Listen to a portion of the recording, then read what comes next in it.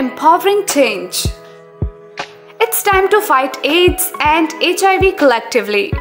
We can eradicate HIV related prejudice and infections by comprehending the virus, disseminating information, and helping those who are infected.